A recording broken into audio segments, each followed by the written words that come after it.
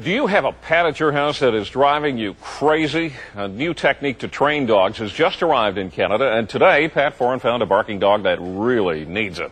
Here's Pat with Consumer Alert. He sure does, Ken. Dr. Dolittle could talk to the animals. Now there are dog trainers that say they can too. Bark Busters do it by growling and barking at them.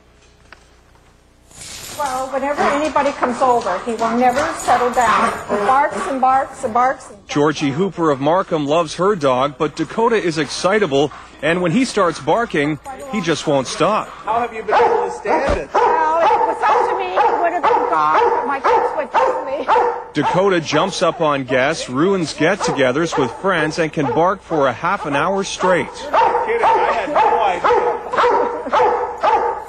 Georgie decided to take a chance on Bark Busters, a new franchise with a unique approach to training dogs. Dakota likes to bark a lot, does he? Monty Roberts gained fame as the horse whisperer, someone who could train horses by speaking to them. Robert Redford even made a film about him.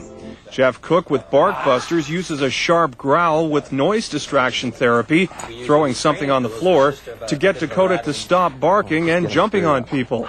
Bah. Okay. Good. Ah. Good, good, good. Now stand really still. We use what we call the bah word. Bah. You say it with just a growly tone. And that's their word for any mistake that they make. Within a half an hour, we noticed that Dakota was beginning to listen, but old habits die hard. Uh, seven years of habit of answering the door like that, it's hard to, uh, bah, bah. Good boy. That was a good little test. The full session takes around three hours, but Bark Buster says most dogs are trained in one afternoon, and there is a lifetime guarantee. The Hoopers hope after seven years of barking, Dakota may finally have been talked into staying quiet. On your side, I'm Pat Foran.